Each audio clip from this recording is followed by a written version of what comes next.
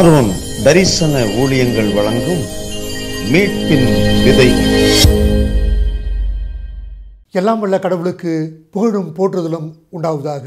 கடவுளாகிய இயேசு கிறிஸ்துவின் திருப்பெயர்களே உங்கள் அனைவருக்கும் என்னுடைய வாழ்த்துக்களை தெரிவித்துக் கொள்கிறேன். மீட்பின் விதைகள் என்ற இந்த நிகழ்வின் மூலமாக உங்களோடு கூட தொடர்பு கொள்வதிலே மகிழ்ச்சி அடைகிறேன். கடவுளுக்கு நன்றி சொல்லுகிறேன். இன்று உங்களோட கூட நான் பகிர்ந்து கொள்ள இருக்கிற கடவுளுடைய நற்செய்தியின் தலைப்பு இயேசுவின் குடும்பம்.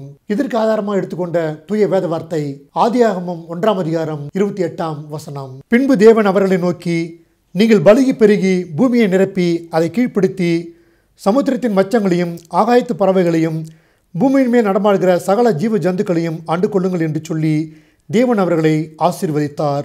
இந்த உலக வாழ்க்கையிலே குடும்ப வாழ்க்கையிலே ஏன் எனக்கு பிரச்சனைகள் ஏன் எனக்கு துன்பங்கள் ஏன் என் வாழ்க்கையில் மட்டும் தோல்வி வந்து கொண்டிருக்கிறது ஏன் என் குடும்பத்தில் மட்டும் முன்னேற்றமில்லை ஏன் என் குடும்பம் தாழ்ந்த நிலைமையில் இருக்கிறது என்று எண்ணி ஏங்குவோர் ஒவ்வொருவருக்கும் கடவுளாக இயேசு கிறிஸ்து ஒரு ஆறுதலான வார்த்தையை தருகிறார். அவரே உங்கள் குடும்பத்தின் தலைவராக இருக்க விரும்புகிறார். அவர் உங்கள் குடும்பத்தின் தலைவராக இருந்து உங்களை அருள்பாலித்து காத்துக்கொள்வார். ஆதாம் ஏவாள் என்ற முதல் குடும்பத்தை கடவுள் ஏதேன் தோட்டத்திலே உருவாக்கி அவர்களோடு கூட ஒரே குடும்பமாக அவர் உழவி வந்தார். கீழ்ப்படியாமை என்ற பாவத்திற்கு அந்த முதல் குடும்பம் உட்பட்ட பொழுது அவர்கள் கடவுளிடமிருந்து பிரிக்கப்பட்டார்கள். ஏதேன் தோட்டத்திலிருந்து அனுப்பி வைக்கப்பட்டார்கள். கடவுள் அப்பொழுதும் அவர்களை அருள்பாலித்து அனுப்பி வைக்கிறார். இப்படி எழுந்து போன இந்த குடும்பங்களை மீட்டுக் கொள்வதற்காகத்தான் தந்தையாய கடவுள் அவருடைய ஒரே திருக்குமாரனாகிய இயேசு கிறிஸ்துவை இந்த உலகத்திற்கு அனுப்பினார். அவருடைய சிலுவை மரணம் உயிர்த்தெழுதல் மூலமாக மக்களுடைய பாவங்கள் மன்னிக்கப்பட்டு அவர்கள் அவரிடத்தில் திரும்பும்போது மீண்டுமாக கடவுளோடு கூட சேர்ந்து வாழ்கின்ற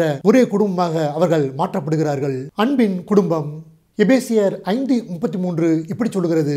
எப்படியும் உங்களிலும் அவனவன் தன்னிடத்தில் அன்பு கூறுவது போல தன் மனைவியினிடத்திலும் அன்பு கூறக்கடவன் மனைவியும் புருஷனிடத்தில் பயபக்தியாய் இருக்க கடவுள். ஆணும் பெண்ணுமாக இணைந்து வாழ்கின்ற குடும்பத்தில் ஒருவருக்கொருவர் அன்பாய் இருக்க வேண்டும். அவர்கள் பயபக்தியோடு மரியாதையோடு நடந்து கொள்ள வேண்டும் என்று தூய வேத வார்த்தை சொல்லுகிறது. பிள்ளைகளே உங்கள் பெற்றோருக்கு கர்த்தருக்கு கீழ்ப்படிகள் என்று எபேசியர் ஆறு ஒன்று சொல்லுகிறது. குடும்பத்தில் கணவன் மனைவி ஒற்றுமாய் இருக்கும்போது அவருடைய பிள்ளைகள் அவர்களுக்கு கீழ்ப்படிந்து வாழும்போது அந்த குடும்பத்தில் மகிழ்ச்சி ஏற்படுகிறது. குடும்பங்களை கலைத்து அதில் மகிழ்ச்சி அடைகிறவன் பிசாசு சாத்தான் என்று சொல்லப்படுகிறவன். அவன் ஏற்படுத்துகின்ற தீய காரியங்களால் கணவன் மனைவிக்குள் கருத்து வேறுபாடு யார் பெரியவர் என்ற நினைப்பு விட்டு கொடுக்காத மனப்பான்மை சரியான நேரத்தில் சரியாக புரிந்து கொள்ளாத தன்மை. இப்படிப்பட்ட காரணங்களால் மன உளைச்சல் உருவாகி ஒருவர் ஒருவர் சண்டை போட்டுக் கொள்கிறார்கள். இதன் விளைவாக குடும்பத்தில் பிரிவு ஏற்படுகிறது. பிள்ளைகள் பெற்றோருக்கு கீழ்ப்படியாமல் தங்கள் சொந்த வழியிலே நடக்கும்போது அவர்கள் வழிமாறி போகும்போது அது நிமித்தமாக தாய் தந்தைக்குள் வாக்குவாதங்கள் ஏற்பட்டு குடும்பத்தில் பிரிவினை ஏற்படுகிறது. இப்படிப்பட்ட குடும்பங்கள் ஒன்று சேர்ந்து மகிழ்ச்சியோடு வாழ வேண்டும் என்றால் அந்த குடும்பத்திற்கு இயேசு கிறிஸ்து தேவைப்படுகிறார். கடவுளாகிய இயேசு கிறிஸ்து அந்த குடும்பத்தின் மையமாக இருக்கும்போது அவரே அந்த குடும்பத்தின் தலைவராக இருக்கும்போது அந்த குடும்பம் மீண்டுமாக கட்டப்படும். அந்த குடும்பத்தில் கடவுளுடைய தூய்மையும் மகிழ்ச்சியும் மனநிறைவும் மன அமைதியும் நிலவும். யாரெல்லாம் இயேசு கிறிஸ்துவை தங்கள் சொந்த ரட்சகராக ஏற்றுக்கொண்டார்களோ அப்படிப்பட்டவர்கள் வாழ்கின்ற ஒரு கிறிஸ்துவின் அன்பை பெற்ற குடும்பம். அது மறுமலர்ச்சி உடையதாய் புதிதாய் பூத்த பூக்களைப் போல வாசம் வீசும் குடும்பமாக இருக்கும். எனக்கு அன்பானவர்களே உங்கள் குடும்பத்திலே பிரச்சனைகள் இருக்கிறதா? கணவனும் பிள்ளைகளும் தனியாக மனைவி தனியாக அல்லது மனைவியும் பிள்ளைகளும் தனியாக கணவன் தனியாக நீங்கள் பிரிந்து வாழ்ந்து கொண்டிருக்கிறீர்களா? உங்களுக்குள் ஒரு ஒற்றுமையின் ஆவி இல்லையா? ஒற்றுமையின் எண்ணம் இல்லையா? உங்கள் பிள்ளைகள் உங்களை விட்டு பிரிந்து இருக்கிறார்களா நீங்கள் உங்களை கடவுளாக இயேசு கிறிஸ்துவின் திருக்கரங்களிலே ஒப்பு கொடுத்து அவருடைய தூய வார்த்தைக்கு கீழ்ப்படிந்து நடந்து அவரை பின்பற்றும் போது அவரை உங்கள் உள்ளத்திலும் இல்லத்திலும் வரவேற்று ஏற்றுக்கொள்ளும் போது அவரே உங்கள் குடும்பத்தின் தலைவராயிருந்து உங்கள் குடும்பத்தை மீண்டுமாக கட்டி எழுப்பி ஒரு மன மகிழ்ச்சியை உருவாக்குவார். யாத்திரையாகமம் இருபது பனிரெண்டு இப்படி சொல்கிறது உன் தேவனாகிய கர்த்தர் உனக்கு கொடுக்கிற தேசத்திலே உன் நாட்கள் நீடித்திருப்பதற்கு உன் தகப்பனையும் உன் தாயையும் கன் பண்ணுவாயாக குடும்பங்களில் இருக்கின்ற வயது முதிர்ந்த தாய் தந்தையரை பெரியவர்களை மதிக்க வேண்டும் அவர்களுக்கு தேவையை பூர்த்தி செய்ய வேண்டும் அவர்களோடு அன்பு செலுத்தி பாதுகாக்க வேண்டும் என்று தூய வேத வார்த்தை நமக்கு சொல்லுகிறது. அப்படி செய்யும்போது இந்த உலகத்தில் கடவுள் கொடுத்திருக்கின்ற வாழ்நாட்கள் அதிகமாக்கப்பட்டு நீண்ட ஆயுளை பெறுவார்கள் என்று தூய வேத வார்த்தை சொல்லுகிறது. இயேசு கிறிஸ்து தம்முடைய சிலுவை மரணத்தின் போது தன்னுடைய தாயை அவருடைய அன்பான சீடரிடத்திலே ஒப்பு கொடுக்கிறார் அந்த சீடனை பார்த்து அதோ உன் தாய் என்று அவர் சொன்னார். அதன் பின்பு அந்த சீடன் இயேசு கிறிஸ்துடைய தாயாரை ஏற்றுக்கொண்டு அரவணைத்தான் அன்பு செலுத்தான் என்பதை நாம் பார்க்கின்றோம். எனக்கு அன்பானவர்களே நம்முடைய குடும்பத்தில் பெற்றோரை நாம் மிக பத்திரமாக பாதுகாத்தால் இன்றைக்கு முதியோர் இல்லங்களிலும் காப்பகங்களிலும் இப்படிப்பட்ட முதியவர்கள் காணப்பட மாட்டார்கள். கடவுள் நமக்கு கொடுத்திருக்கின்ற ஒரு பெரிய அருட்பாளிப்பு தாய் தந்தையர் அவர்கள் ஆயுள் முழுவதும் நம்முடைய பாதுகாப்பிலே பராமரிப்பிலே இருக்க வேண்டும் என்று தூய வேத வார்த்தை நமக்கு சொல்கிறது இப்படி செய்கின்ற குடும்பம் அது தழைத்துவங்கும் அது கிறிஸ்துவின் குடும்பமாக இருக்கும். மீட்பின் குடும்பம். ஆதியாகமம் பத்தொன்பது பதினாறு இப்படி சொல்லுகிறது. அவன் தாமதித்துக் கொண்டிருக்கும் போது கர்த்தர் அவன் மேல் வைத்த இறக்கத்தினாலே அந்த புருஷர் அவன் கையையும் அவன் மனைவியின் கையையும் அவன் இரண்டு குமாரத்திகளின் கையையும் பிடித்து அவளை பட்டணத்திற்கு வெளியே கொண்டு போய் விட்டார்கள். சோதம் குமாரா என்ற பட்டணத்து மக்கள் கடவுளுக்கு விரோதமான தீய செயல்களை பாவச் செயல்களை செய்தபடினால் அது கடவுளுடைய பார்வைக்கு வந்தபடினால் அந்த நகரத்தை அழிக்கும்படியாக கடவுள் எண்ணம் கொண்டார். ஆனாலும் அந்த நகரத்தில் இருக்கின்ற லோத் என்பவருடைய குடும்பத்தை காப்பாற்றும்படியாக அவருடைய உறவினர் ஆபிரகாம் என்பவர் கடவுளிடத்தை வேண்டிக் கொள்கிறார் அதனால் அவர்களுக்கு ஒரு கிருபை கிடைக்கிறது. குறிப்பிட்ட நாளிலே கடவுளுடைய தூதர்கள் அந்த சோதம் என்ற நகரத்துக்குள் செல்லுகிறார்கள் அப்போது அந்த வாயிற்படியிலே அமர்ந்திருந்த லூத் என்பவர் அவர்களை பார்த்து அன்போடு விசாரித்து அவர்களை தங்கள் இல்லத்திற்கு அழைத்து சென்று அவர்களுக்கு உணவு கொடுத்து தங்க இடம் கொடுத்தார். அவர்களுக்கு பிரச்சனை வெளிமக்களால் ஏற்பட்ட போது அவர்களுக்கு பாதுகாப்பை கொடுத்தார். அதன் பிறகு கடவுள் அந்த நகரத்தை அழிக்கின்ற நேரம் வரும்போது அந்த கடவுளுடைய தூதர்கள் அவர்களை பத்திரமாக அழைத்துக் கொண்டு நகரத்திற்கு வெளியே கொண்டு சென்று காப்பாற்றினார்கள். லோத் என்பவருடைய மனைவி தூதருடைய வார்த்தையை கேட்டு கீழ்ப்படியாததினால் அவள் அந்த நகரத்தை திரும்பி பார்த்து உப்பு தூணானாள். மற்ற எல்லோரும் கடவுளால் அன்பாக காப்பாற்றப்பட்டார்கள். அந்த சோதம் குமாரா என்ற நகரம் கந்தகத்தினாலும் நெருப்பினாலும் மழையாக பெய்யப்பட்டு சுட்டரிக்கப்பட்டது என்பது வரலாறு. எனக்கு அன்பானவர்களே கடவுளுக்கு பயந்து வாழ்கின்ற குடும்பங்கள் கடவுளுடைய வார்த்தைக்கு கீழ்ப்படிந்து நடக்கின்ற குடும்பங்கள் அது எப்படிப்பட்ட துன்பமாய் இருந்தாலும் அதிலிருந்து மீட்கப்படுவார்கள். கடவுளாய் இயேசு கிறிஸ்துவை உங்கள் சொந்த ரட்சகராக ஏற்றுக்கொள்ளும் போது மழை வெள்ளத்தினால் வருகின்ற அழிவா இருந்தாலும் தீயினால் வருகின்ற அழிவாய் இருந்தாலும் அதிலிருந்து கடவுள் உங்கள் குடும்பத்தை காப்பாற்ற வல்லவராய் இருக்கிறார் உங்கள் குடும்பம் கடவுளுக்குள் எப்பொழுதும் மீட்கப்படும். ரோமர் பதினாறு மூன்று இப்படி சொல்கிறது கிறிஸ்து இயேசுவுக்குள் என் உடை வேலையாட்களாகிய பிரிஸ்கில்லாவையும் ஆக்கில்லாவையும் வாழ்த்துங்கள்.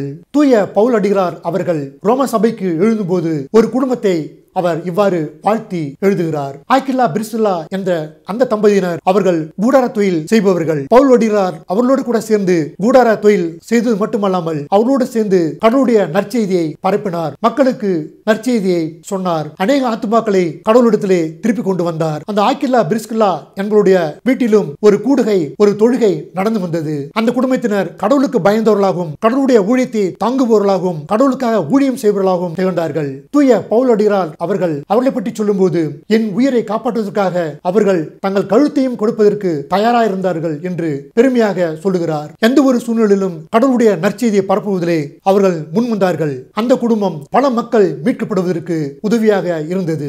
எனக்கு அன்பானவர்களே கடவுள் குடும்பமாக வைத்திருக்கின்ற ஒவ்வொருவரும் தங்கள் குடும்பம் கிறிஸ்துவின் மீட்பை இந்த உலகிற்கு கொண்டு வருவதற்காக என்ன செய்கிறது என்று சிந்தித்து பார்க்க அழைக்கப்படுகிறீர்கள். இயேசு கிறிஸ்துவனுடைய கட்டளைக்கு பயந்து நடந்து வேண்டுகோளுக்கு இணங்கி அநேக ஆத்மாக்களை கிறிஸ்துவ ஆண்டிலே கொண்டு வருவதற்கு நீங்கள் உதவிகரமாக இருக்கிறீர்களா? ஊழியத்தை தாங்கவும் ஊழியத்தை செய்யவும் உங்கள் குடும்பம் முன் வருகிறதா சாட்சியின் குடும்பம். யோசுவா இருபத்தி நான்கு இருபத்தி ரெண்டு எப்படி சொல்லுகிறது? அப்போது யோசுவா ஜனங்களை நோக்கி கத்தரை சேவிக்கும்படி நீங்கள் அவரை தெரிந்து கொண்டதற்கு நீங்களே உங்களுக்கு சாட்சிகள் என்றான். அதற்கு அவர்கள் நாங்களே சாட்சிகள் என்றார்கள். எகிப்து தேசத்திலே கடவுடைய மக்கள் அடிமைகளாக இருந்தபோது கடவுள் அவர்களுக்கு வாக்கு பண்ணின கானான் என்ற தேசத்திற்காக அவர்களை மோசே என்ற தலைவர் மூலமாக அழைத்துக் கொண்டு வந்தார். மோசையனுடைய காலத்திற்கு பிறகு யோசுவா என்பவர் தலைவராக அந்த மக்களை வழிநடத்தி கொண்டு வந்தார். அந்த மக்கள் வாக்குத்தத்தம் பண்ணப்பட்ட அந்த கானான் என்ற நாட்டிற்கு வந்த பிறகு அவர்கள் கடவுளுக்கு நன்றி சொல்லி துதிக்கிறார்கள். அப்பொழுது இந்த யோசுவா என்ற தலைவர் சொல்லுகிறார் நானும் என் வீட்டாருமோ என்றால் கர்த்தரையே சேவிப்போம் என்று அந்த பெருந்திரள் மக்கள் மத்தியிலே சூழ் உரைக்கிறார். அதன் பிறகு அந்த மக்களும் திருப்பி பதில் சொல்லுகிறார்கள் நாங்களும் கர்த்தரையே சேவிப்போம் என்று சொல்லுகிறார்கள். அப்போது யோசுவா அவர்கள் நீங்கள் இதற்கு சாட்சிகளாய் இருக்கிறீர்கள் என்று சொன்னார். இந்த மக்கள் கடந்து வந்த பாதை மிகவும் வேதனையானது. அநேக போர்களை சந்தித்தார்கள்.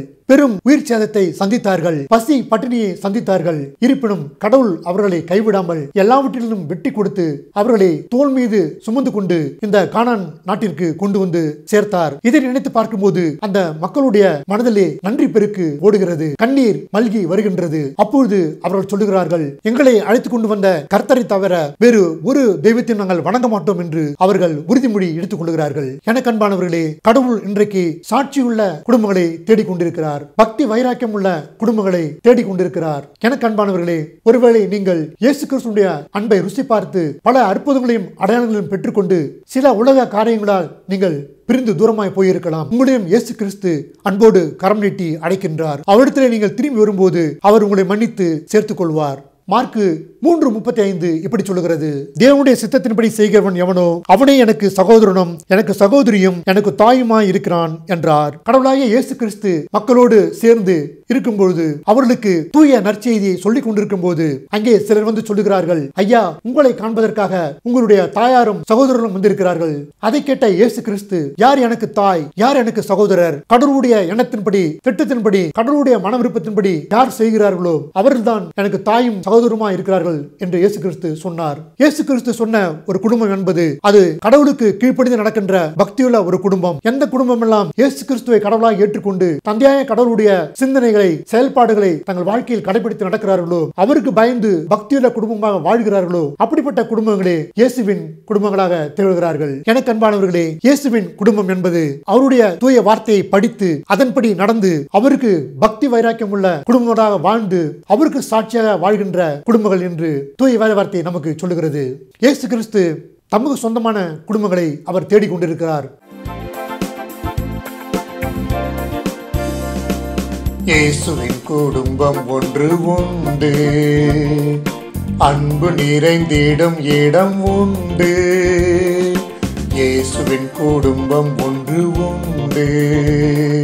அன்பு நிறைந்திடும் இடம் உண்டு. உயர்வும் இல்லை அங்கு தாழ்வும் இல்லை ஏழை இல்லை பணக்காரன் இல்லை உயர்வும் இல்லை அங்கு தாழ்வும் இல்லை ஏழை இல்லை பணக்காரன் இல்லை ராஜாதி ராஜா ஏசு என்றென்றும் ஆண்டிடுவார். ராஜாதி ராஜா இயேசு என்றென்றும் ஆண்டிடுவார். இயேசுவின் குடும்பம் ஒன்று உண்டு. அன்பு நிறைந்திடும் இடம் உண்டு. இயேசுவின் குடும்பம் ஒன்று உண்டு. அன்பு நிறைந்திடும் இடம் உண்டு. இன்பம் உண்டு சமாதானம் உண்டு வெற்றி உண்டு துதி பாடல் உண்டு. இன்பம் உண்டு சமாதானம் உண்டு வெற்றியுண்டு துதி பாடல் உண்டு. ராஜாதி ராஜா ஏசு என்றென்றும் ஏந்திடுவார். ராஜாதி என்றென்றும் ஏந்திடுவார். இயேசுவின் குடும்பம் ஒன்று உண்டு. அன்பு நிறைந்திடும் இடம் உண்டு. இயேசுவின் குடும்பம் ஒன்று உண்டு. அன்பு நிறைந்திடும் இடம் உண்டு.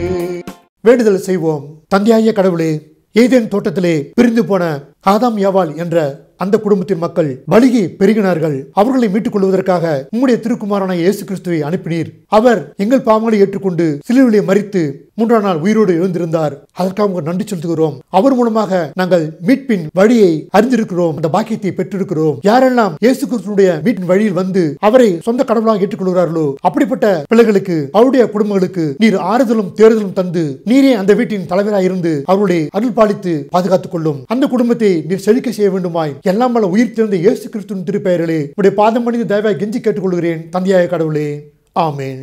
எனக்கு அன்பானவர்களே இயேசுவின் குடும்பமாய் வாருங்கள் இயேசுவின் குடும்பமாய் வாழுங்கள். கடவுளாய் இயேசு கிறிஸ்து அருளும் மன உங்கள் உள்ளங்களிலே மையம் கொண்டு எப்பொழுதும் நிலைத்திருப்பதாக. ஆமேன்.